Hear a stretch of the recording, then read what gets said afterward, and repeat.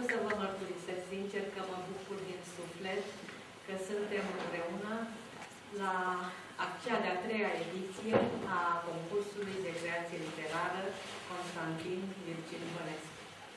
Inițiat de către părinții lui Virgil, cu sprijinul celor care l-au cunoscut, celor care l-au îndrăgit și, nu în cele din urmă, al instituțiilor de cultură din orașul nostru.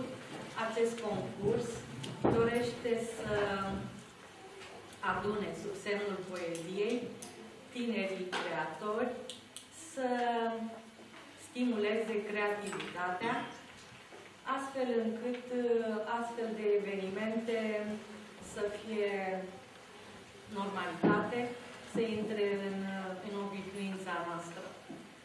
Cineva spunea că numai faptele tale arată dacă mori înainte de a muri sau trăiești și după moarte.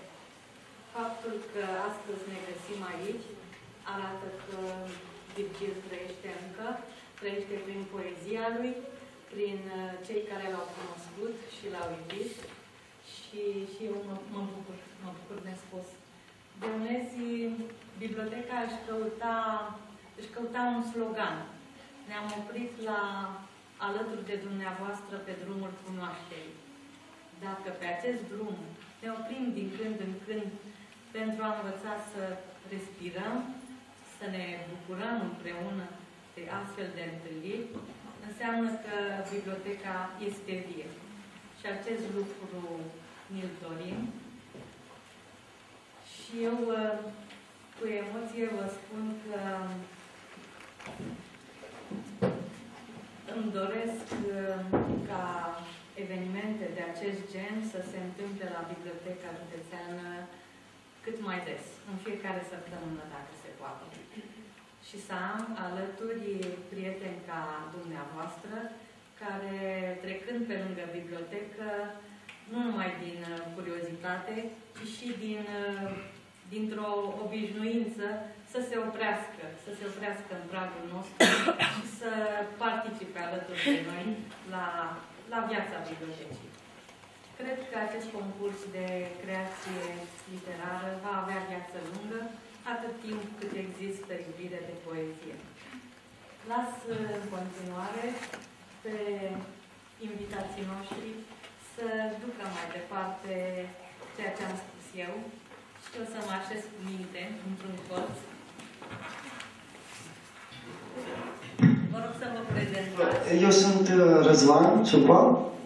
Vă mulțumim mult pentru cuvintele pe care le-ați spus și pentru că suntem, uh, ne primiți aici alături de dumneavoastră.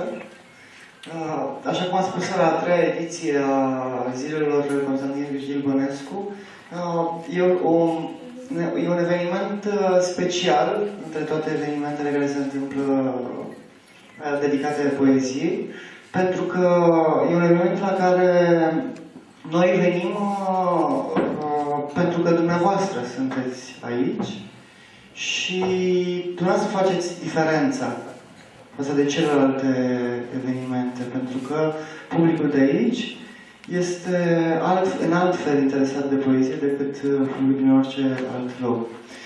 Uh, astăzi aș putea să-i pe fiecare dintre invitați, dar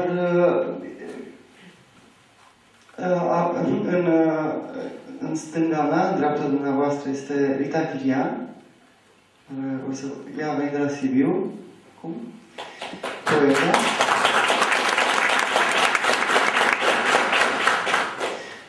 Domnul Ernest Vignaș, care este directorul Literaturhaus Berlin. Nu știu dacă cunoscut bine pe Virgil și o să vorbesc și despre un uh, volum uh, de, uh, în limba germană al lui Constantin Virgil Bănescu. Lângă mine este Claudiu Martin, este proiect. Și o să uh, îl las uh, primele cuvinte domnului Ciupitu, care este aici lângă mine și care a pregătit uh, câteva lucruri să vă spună.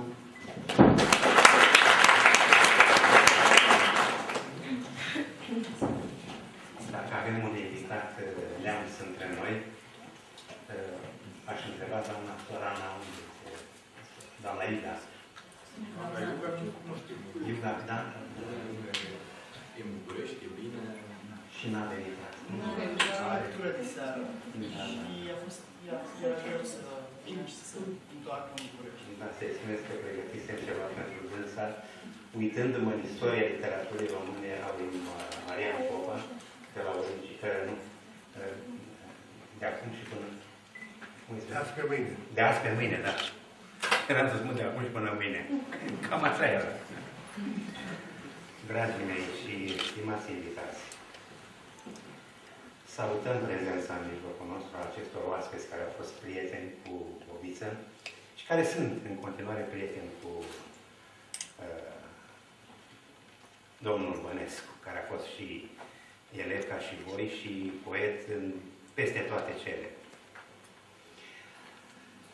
Nicht ist groß was nicht wahr ist, zicea Goethe. Am zis bine? Aproximativ. Măcar să te exprimi aproximativ decât să spui că nu-ți place nemțească. În tot cazul este o limbă extraordinară pe care Ovița a întră- a îndrăgit-o cu, cu tot sufletul lui. A tradus din germană, a- nu?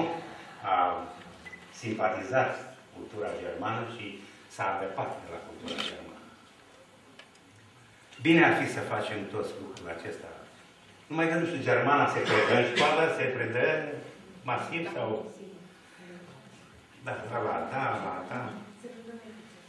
Nu prea. Ce v-am pregătit astăzi, stimații mei oaspeți și dragii mei elevi și invitați? V-am pregătit un scurt comentariu al poeziei pe care o aveți în mână. V-aș ruga să o citiți în timp ce eu comentez. Aveți textul la îndemână. Nu e ceva doctoral, nu este ceva plicticos. N-am scris decât o singură pagină ca să fie agreată de toți. Am dat voie să-mi pun ochelarii de vedere. Poezia se numește Estera. Nu știu dacă ați auzit numele acesta. uh, E întâlnit mai cu seamă în rândul uh, celor care citesc uh, Biblia. Estera este un nume evreiesc.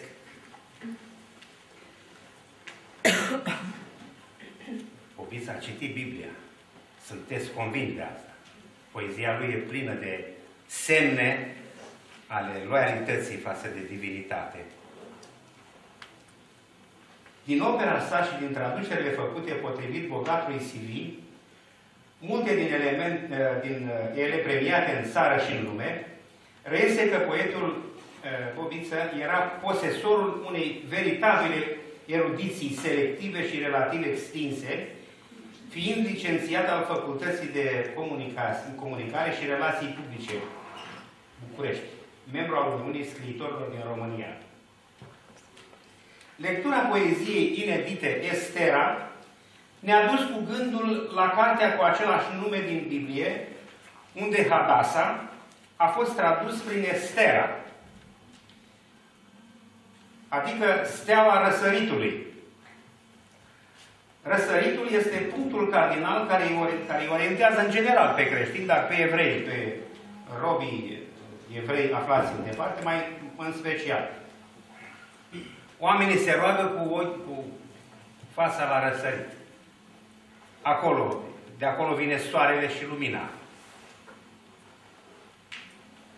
Poetul român a găsit în Estera idealul de frumusețe feminină, trupească și sufletească,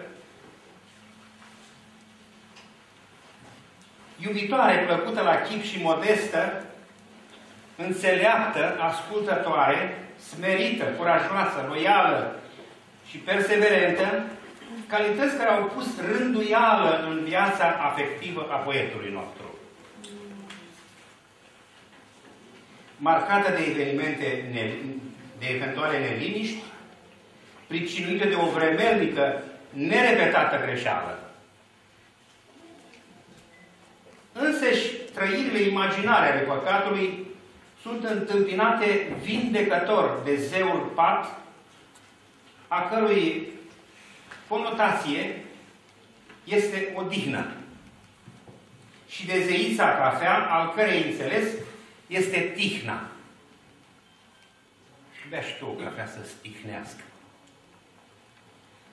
Structurarea lăuntrului, prin confruntarea cu provocări din exterior, este însoțită de o autoreglare goetheană a trăirilor, semn că tânărul poet, ca și Mihai Eminescu, la vremea sa, pregătea detaliile înveșnicirii statoare. Am găsit un uh, text în care spune că Goethe, după ce a murit, atâta s-a întâmplat. I-a plesnit pielea și a rămas statuia.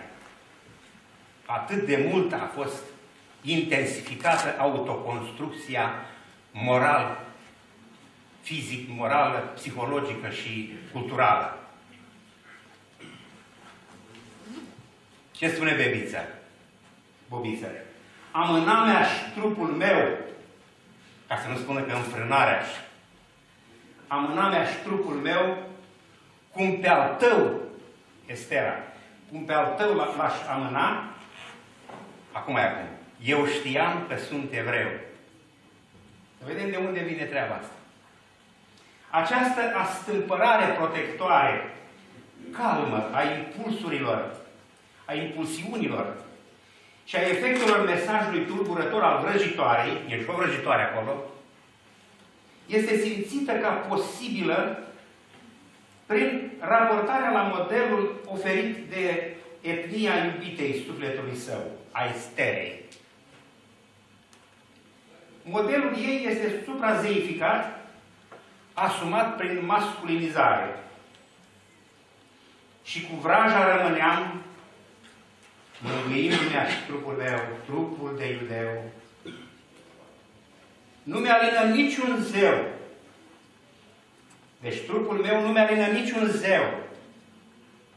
În afară de tine, zic eu, Estera, eu de acum sunt al tău. Și îți cunosc durerea. Ce interesant! Atunci ești al cuiva când îi cunoști durerea. E foarte profund. Citiți încă o dată poezia și încă o dată și vedeți că vă va hrăni extraordinar.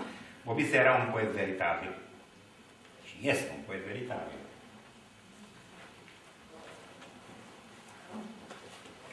Așadar, pătruns până în adâncul sufletului său de binefacere aduse sieși, de luminoasele fațete moral-sentimentale ale idealului de care s-a alipit, Poetul rostește acest jurământ de credință, a cărui intensitate o regăsim la Eminescu, Arghezi, Blaga, Ion Barbu.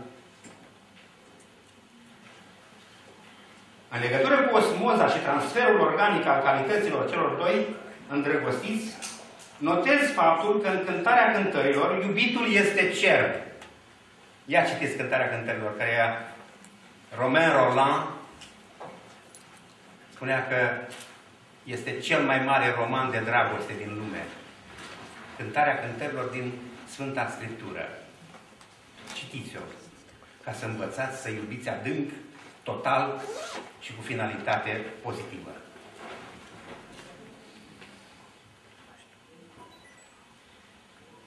Iar iubita, deci el e cervul, iar iubita în final, după ce îi spune căprioara mea, după ce îi spune în toate felurile, porumbița mea, columbița mea, iar în final, după cer, urmează cervoaica. Ce a făcut? Am împrumutat de dragul lui trăsăturile vivacității bărbătești. Extraordinar. Așa găsim și la bebiță, bobiță. trupul de iudeu nu mi-alină niciun zeu ca tine.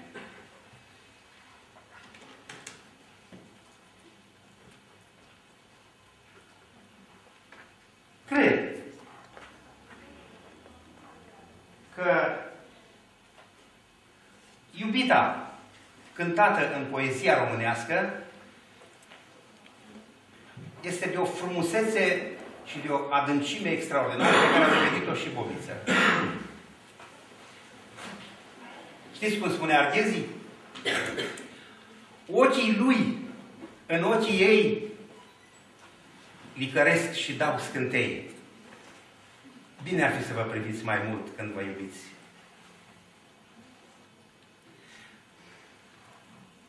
Și știți ce mai spune Arghezii? Draga mea, până asta de la mine, eu mă vindec de mine cu tine. V-a plăcut? Mulțumesc de atenție.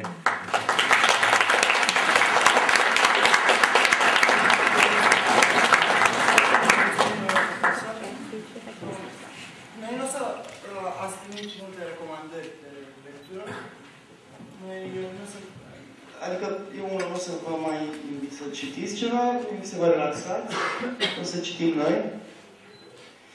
Și uh, dacă îmi dați voie să invit pe Claudiu, mai întâi să uh, ales câteva poeme de al lui Constantin Virgil Bănescu, pe care poate nu le știți. Sunt din volumul pe care l-ai lansat anul trecut la uh, Casa Editoră Max Blecher. Da, e vorba de Zidul de Mătase, care cuprinde cele trei cărți pe care le-a publicat Virgil în timpul vieții. Pinele, Femeia și Ochiada, pe care o avem aici tradusă în limba germană, Floarea cu o singură petală și Același cer ce nu e. Sunt trei cărți foarte frumoase, care alcătuiesc una dintre cele mai uh, autentice mărturii, una dintre cele mai autentice confesiuni poetice ale vremii noastre, după părerea mea.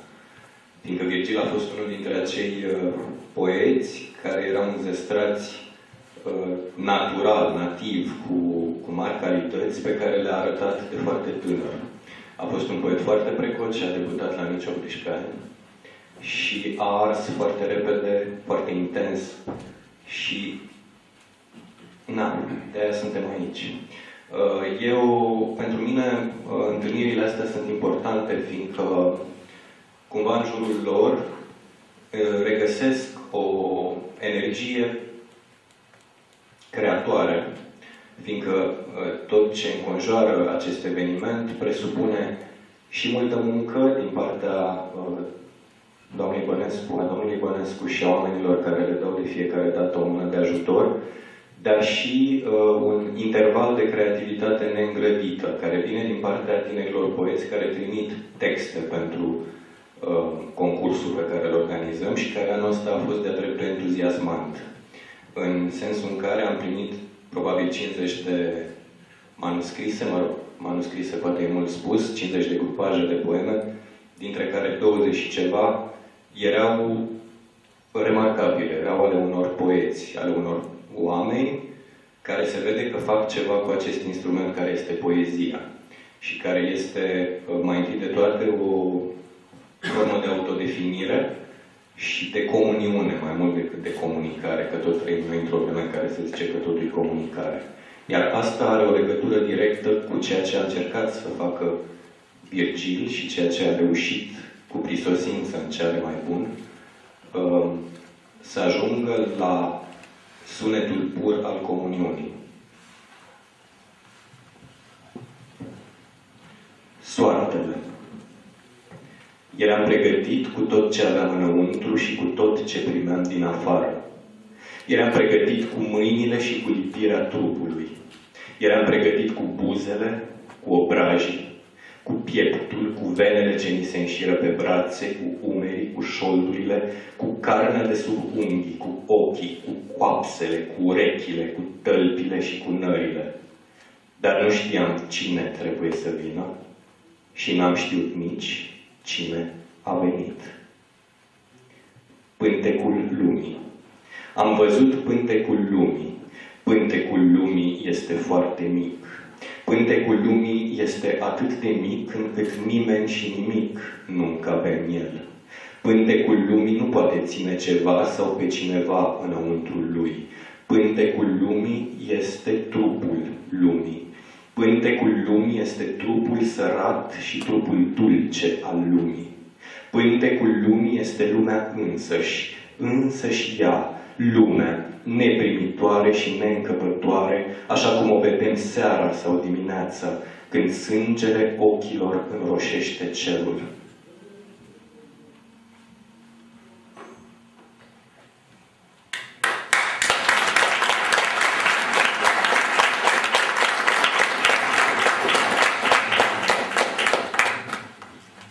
Și Jagrat, lumina nu dispare, sunt cu Dumnezeu. Aici totul e luminat. Nu e noapte, nu e amiază, nu e înserare, să ne taie gândurile, să ne adoarmă trezia, să ne amăgească timpuria încarnare, prea puțin amânata aducere a noastră în carne. Aici totul e într-adevăr luminat, iar lumina nu dispare. Constantin Virgil Bănescu.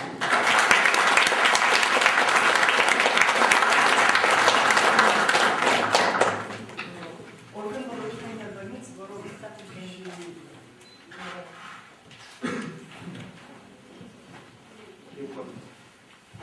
Da.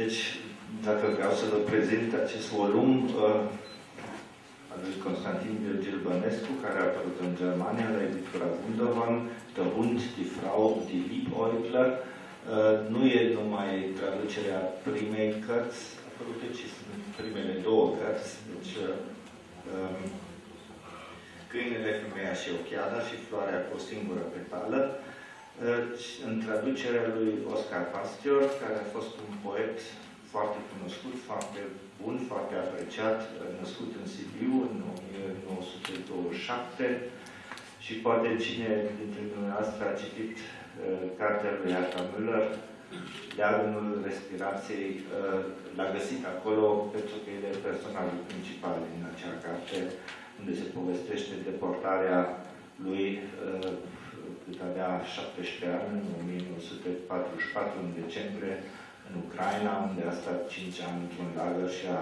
lucrat acolo. În 68 a plecat în Germania și a ajuns cel mai important traducător din poezia, nu numai românească, ci și din poezia engleză. A tradus Gertrude Stein, a tradus din italiană, a tradus uh, Klebnikov, o colecție, și din literatura română a tradus uh, numai în poezie, spun Tudor Alghezi, Lucian Blaga, Ion Barbu, Marin Sorescu, Tristan Țara, Gelu Naum și Constantin Virgil Bănescu. Cred că e un rând remarcabil și uh, și Oscar Pastor obișnuia să traducă um, ca un fel de lectură intensivă. Uh, mă amintesc că am primit uh, primul volum al lui Constantin, al lui Bobiță, din partea Norei Iuga și am dat lui Oscar Pastor și el s-a apucat să traducă. Asta era felul în care citea el o poezie străină, necunoscută până atunci, să vadă dacă reușește, uh, dacă se transmite rezonanța și simțul, uh, ideea uh, poeziei. Uh, asta a încercat traducând în, în limba lui. Și în stânga aici este un afiș al Festivalului pentru de poezie la, din Berlin din 2004 cu un citat, cu un text unde se spune, das Gedicht gibt es nicht, es gibt immer nur dies Gedicht, das dich gerade liest. Ceea ce înseamnă tradus, poezia nu există, există întotdeauna numai acest poem care în momentul de față te citește. Deci poemul ne citește ă, și traducând ne dăm seama în ce fel ne-a citit poemul pentru că traducătorul uh, e și el poet și uh, pornind de la textul original, uh, creează, reface, nu reface, ci face textul propriu. În așa fel a tradus Oscar Pastor, deci nu l-a pus nimeni să traducă, a tradus pentru că i-a plăcut poezia și în timp de două săptămâni a tradus cele două volume ceea ce înseamnă că a avut o trăire foarte intensivă uh, și bucurătoare cu uh, poemele lui Constantin Virgil Bănescu. S-au văzut de câteva ori, cred că au fost prieteni. Uh, am fost cu el și cu Bobiță și cu Herta Müller în mai multe locuri în Germania, la Heidelberg, când a primit premiul Bursa Burda, în Italia, dar cred că mai bine vă citesc uh, câteva din traduceri. Poate dacă ai putea să citești Da. originalul. uh, Cred că am pus semne aici. Da, doar că germana mea scripție. Nu, păi, citesc eu germană și Nu, nu, așa cât să Da. recunosc că Da, da.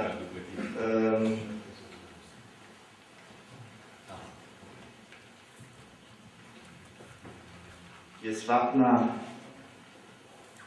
floarea cu singură petală.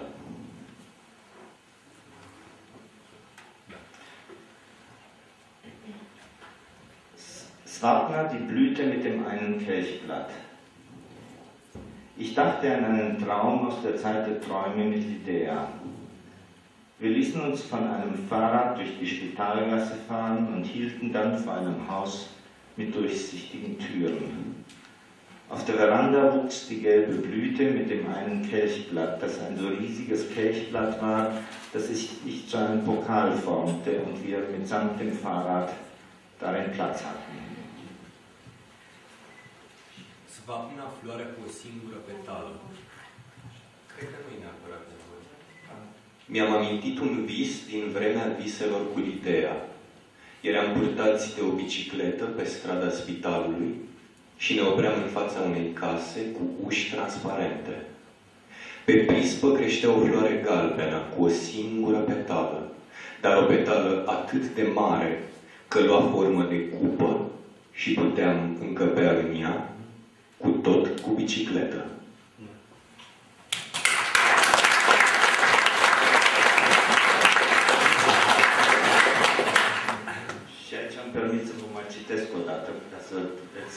Compara.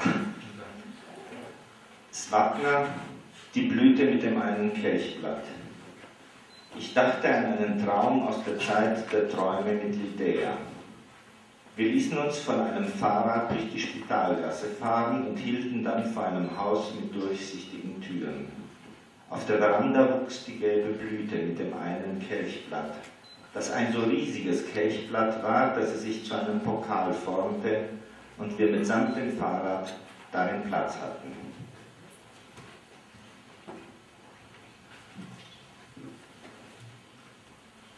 Acum celelalte două. Ähm, Kartari, den Tod verscheuchen.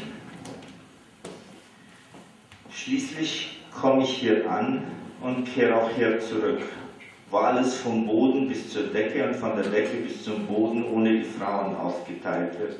Ohne Frauen werde ich mir den Tod vertreiben und alles wird rein aussehen wie der helle Morgen, an dem alles rein wie der helle Morgen aussieht. Cartari, voi alunga moartea. Până la urmă, aici vin, tot aici mă întorc, unde totul se împarte între podea și tavan, între tavan și podea, fără femei. Fără femei voi alunga moartea și totul îmi va părea o dimineață curată, în care totul îmi va părea o dimineață curată.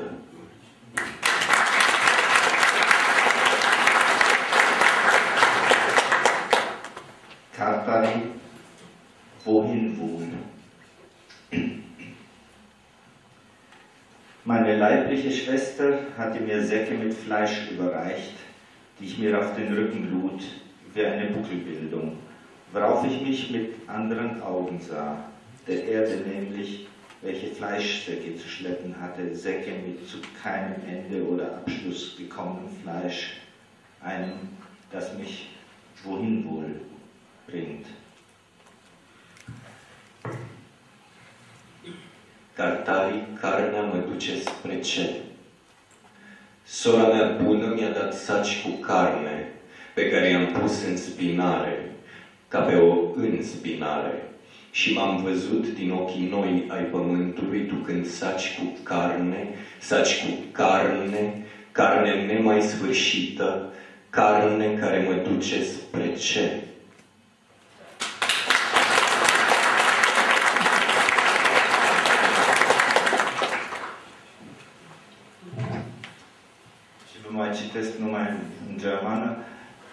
Germană poemul preferat domnului Oscar Pastor uh.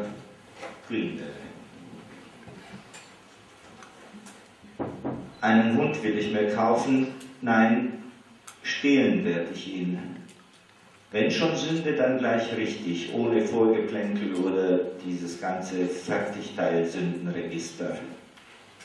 Ich werde ihn stehlen, werde ihm die Zähne ziehen, einzeln, werde ihm die Krallen ausreißen, einzeln und ihn laufen lassen. Aber nicht gänzlich. Aufreizen werde ich ihn und es wird eine Freude sein. Eine Lust wird es mir sein, seine Lefzen im Genick am feisten Fleischnacken zu spüren, wie sie das Blut hervorzurufen mir versuchen. Eine Lust wird es mir sein. Die Augen habe ich darum gelassen. Zusehen soll er und nicht können soll er.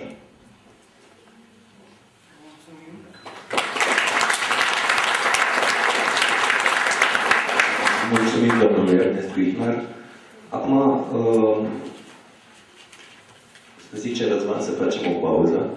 Noi ne-am înțeles să avem uh, două pauze muzicale Da. și pentru asta o să ne invit pe domnul profesor uh, Boghici lângă noi pentru a prezenta primul moment. Vă rog, dați loc.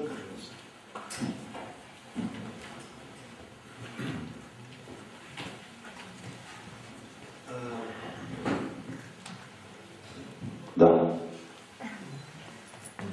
Numele meu este Marian Boghici, sunt conferențiar doctor la Facultatea de Științe și Arte din cadrul Universității Malachia din Târgoviște. L-am cunoscut foarte bine pe Bobiță, pe Virgil, pe Constantin. Sunt prieten cu părinții lui de foarte, foarte mulți ani.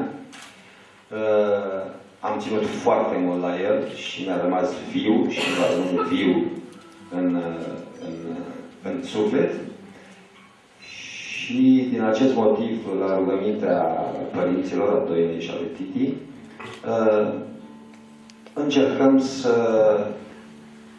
întâi un student al meu, fost elev, student și masterand acum la facultatea noastră, uh, Daniel Uțina, care va încerca să vă deschimbe frunțile cu o lucrare sud-americană, la chitară clasică, bineînțeles, uh, intitulată Tango Maria. După aceea, uh, imediat sau în pauza următoare, uh, o să încerc să țin și eu isonul cu un duet. Vă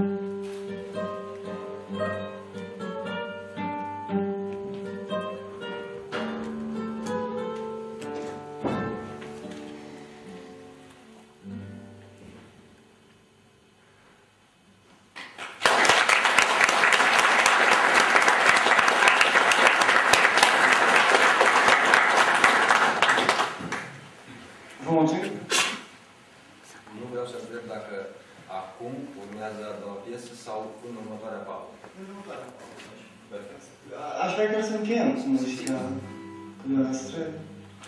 Ah, Aș vrea să rog pe domnul Bănescu, am înțeles că a pregătit ceva. Da? Vreți acum să punem? La sfârșit chiar. Bun. Ah, Atunci ah, o să, o să mai spun că, în afară de cei pe care ne vedeți aici, ah, mâine o să puteți să ascultați poeziile ah, primilor șapte dintre cei care au uh, trimis uh, poemele pentru concurs și uh, o să stați și la uh, ceremonia de premieră a lor. O parte dintre ei sunt uh, în sală. Um, dar până, până atunci uh, trebuie să o invit pe Rita să spună cum a venit ea. E prima ediție la care ajunge a festivalului. Bună ziua, în primul rând. Uh, Da, Răzvan, e prima uh, întâlnire de acest tip la care ajung. Uh, La celelalte, într-adevăr, mi-ar fi plăcut foarte mult să, să pot să fiu împreună cu voi, însă din vari motive nu s-a putut. Important e că anul acesta sunt aici, important e că suntem aici ca să ne, să ne apropiem până la urmă de, de poezia lui Constantin Virgil Bănescu, de poezia lui Bobiță, așa cum ne plăcea nouă să-i spunem. Și cred că, în fine, voi începe cu, cu o părere de rău pe care o am. Aceea legată de faptul că nu știu dacă lui Bobiță i-ar fi plăcut această oficializare a poeziei lui. Această, nu știu, tendință de transformare a unei poezii care era un suflet deschis, o încercare de confesiune, într-o hermeneutică academizantă și destul de îndepărtată de ceea ce ar fi fost ceea ce și-a dorit Bobiță. Um, cred că pe cei mai mulți de aici nu i-a invitat la lectură. Cred că i-a, sper- i-a speriat. Uh, cred că s-au gândit că acolo sunt uh, elemente de mitologie absconsă pe care ei nu o vor putea pătrunde niciodată și nu cred că Bobița asta și-a dorit. Cred că Bobița și-a dorit prin poezia lui să vă comunice, să vă arate că el era într tot, pe deplin, acolo, înăuntru poeziei. Că el avea fericit acces la, la o altă zonă de senzorialitate. Și așa cum el a fost uh, un regizor extraordinar al propriei lui biografii și al uh, propriei lui poezii, cred că ar trebui să-i acordăm acest, uh, acest drept al lui pe care și l-a câștigat. Mm, Cred că s-a simțit timorat să fie aici și să audă ce spunem noi. Sunt lucruri frumoase, dar pe el le-ar copleși, cred. Trebuie să, să fim reținuți și mai cu seamă să fim tăcuți. Și pentru că am deschis la întâmplare cartea lui astăzi, mi-au căzut uh, privirile pe un text extrem de frumos, foarte scurt, foarte concis, foarte uh, percutant, așa cum era el, Poliță. Voi spune ceva. Voi spune ceva ce niciunul din voi nu va auzi.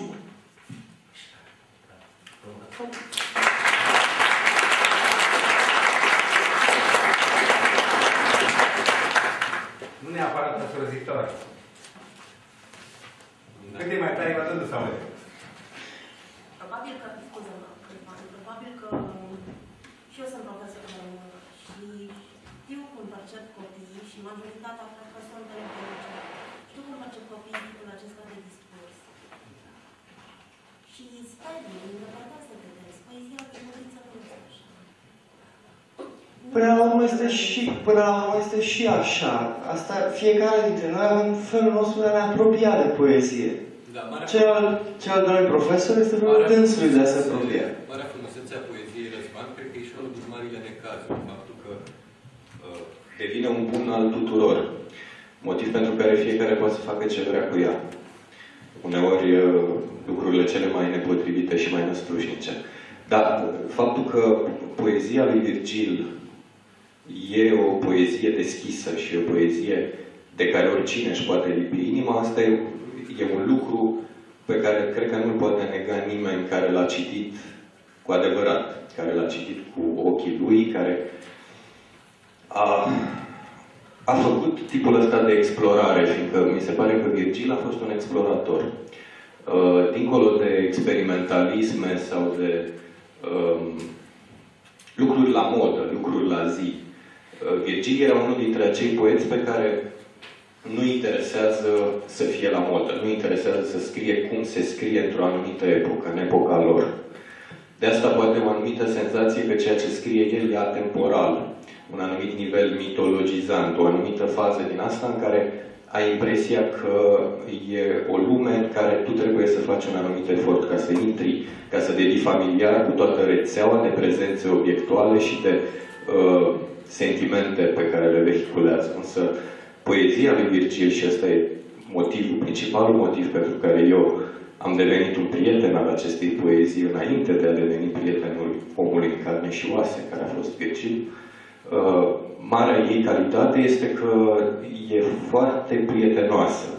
Dincolo de faptul că nu e o poezie tocmai ușoară, uh, e o poezie extrem de prietenoasă care te aduce pe tine, cititorul, în, uh, într-o situație din asta de a îți spune niște probleme nu legate de marile uh, chestii metafizice și ce învățăm noi la școală. De asta eu refuz din start orice uh, apropiere sau orice situare a lui Virgil într-o tradiție care ar începe cu Eminescu sau mai știu eu cu cine, cu Miron Costin. Uh, Virgil era, pe cât era de modern, pe cât era de un poet al timpului nostru, pe atât era de universal și de, hai să zic și eu un cuvânt din asta de manuale, etern. Poezia lui are uneori sunetul acelor uh, întrupări ale Upanishadelor, are uneori ceva din uh, înțelepciunea biblică, are de multe ori ceva din grația și din uh, tentația permanentă spre luminos a filozofiilor, filozofiei orientale. Și din amalgamul ăsta pe care el l-a trecut cu prețul propriei vieți prin el, a rezultat această minunată poezie pe care vă încurajez și vă rog ca, dacă aveți disponibilitatea și uh, inima deschisă pentru poezie, să o citiți, fiindcă uh, este una dintre, dintre lucruri, este unul dintre lucrurile de preț care s-au întâmplat în poezia românească a ultimilor 15-20 de ani. Aș, aș vrea să îl invit pe domnul Victor să ne spună uh, dumneavoastră cum ați intrat în contact cu multe feluri de poezie și ați intrat dintotdeauna în contact cu multe feluri de poezie. Românească, străină. Uh, în ce fel s-a diferențiat poezia lui uh, Constantin Virgil Bănescu pentru dumneavoastră de, din primele momente în care ați intrat în contact cu ea? Ne-ați povestit despre experiența lui Oscar Pastior, poezia lui uh, Virgil, dar uh, nu ne-a spus foarte multe despre experiența dumneavoastră. Cum ați perceput-o dumneavoastră?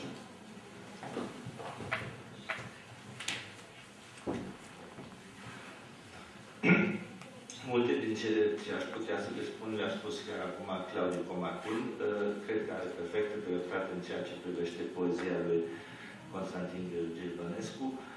Um, Eu de obicei citesc uh, la fel cum, am- cum, au, cum obișnuia Oscar Pastor să citească poezia, începând, uh, uh, încercând să fac o traducere. Fac două, trei traduceri dintr-un, dintr-un volum ca să cunosc poetul și după aceea pot să citesc în limba lui. Nu mai trebuie să, să, să continui în, în a traduce.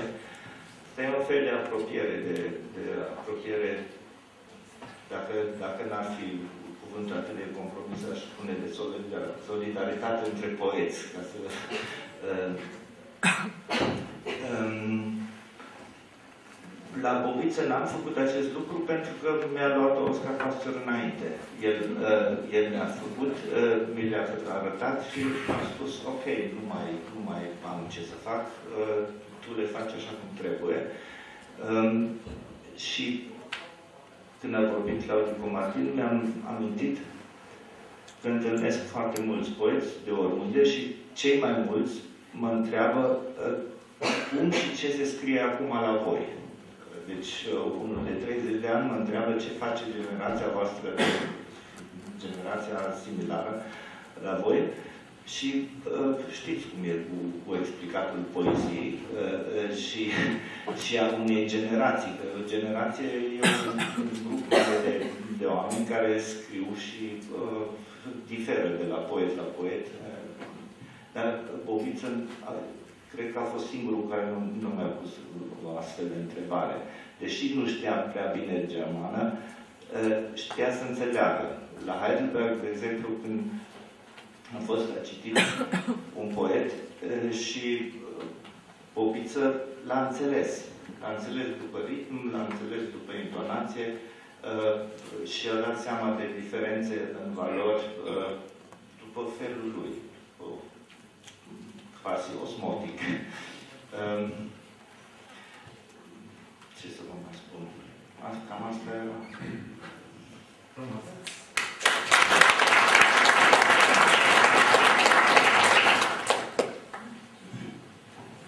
Am ales și eu uh, două, poe- două poeme ale lui Constantin Virgil Bănescu din titlul de Mătase. Pentru că dumneavoastră ați citit primele două volume, eu am ales două poeme din uh, volumul Același cer ce nu e. Uh, cred că era aici pe masă, la un moment dat. Așa. În locul privirii ei, în ochii ei, e privirea mea. În locul privirii mele, în ochii mei, e privirea ei. Așa ne privim. Așa ne amânăm remușcările. Așa ne îmbrăcăm unul pe altul în cea mai veche vulgaritate. Numai așa ne vedem Dumnezeul și numai așa îl vom vedea mereu.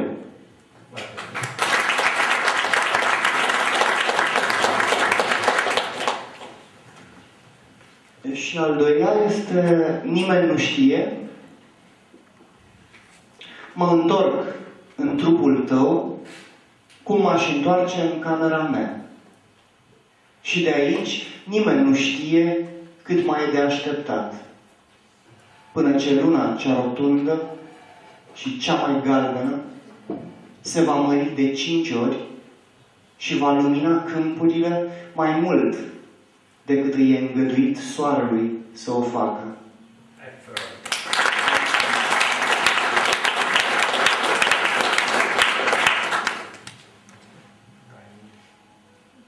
Eu cred că suntem uh, pregătiți pentru al doilea moment. Domnule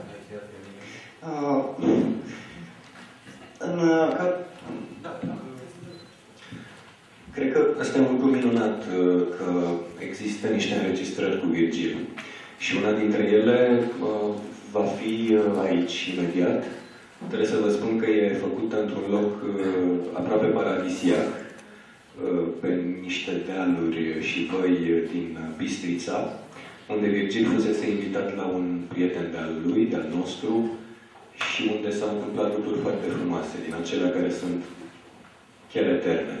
Iar în momentul ăsta, cred că sunt chiar pe YouTube, deci puteți căuta și găsi și asculta. Uh, na, nu mai zic nimic.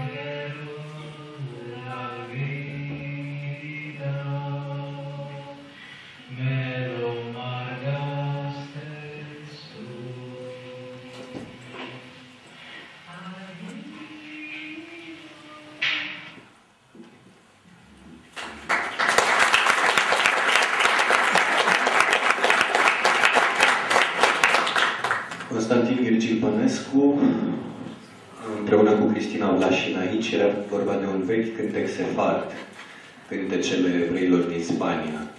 Un cântec despre iubire și despre pierdere. Um, Răzvan. Bine.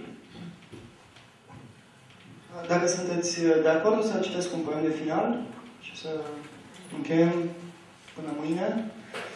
O să mai fie un atelier, după facem o scurtă pauză și o să fie un atelier cu băieții tineri. O să fie și o reportă. O să vorbim. Și poema pe care vreau să citesc eu în încheierea părții astea este... Poftim? Ok. Cartari. Cartari. Nu mai vine norocul la mine. M-am făcut refractar. Ia ca eu. Mă duc la wc adun, citesc cărți, îmi caut nostalgiile. Dorm după amiază, îmi notez toate visele, ascult Chopin, Klaus Schütze, crezând că trec de partea cealaltă, beau cafea, mă spăl pe mâini cu sirop de coacăze, îmi îngrijesc buzele cu miere, sărut asfaltul. E adevărat, asta îmi provoacă o mare plăcere și îmi modifică o serie de amintiri. Intru în gări, ies din gări, adorm, mă trezesc, mângâi tot felul de trupuri, am câteva modele de comportament, port pantaloni evazați și flori în păr. Uite ce viața cotidiană mă împiedică să merg pe punțile cosmice.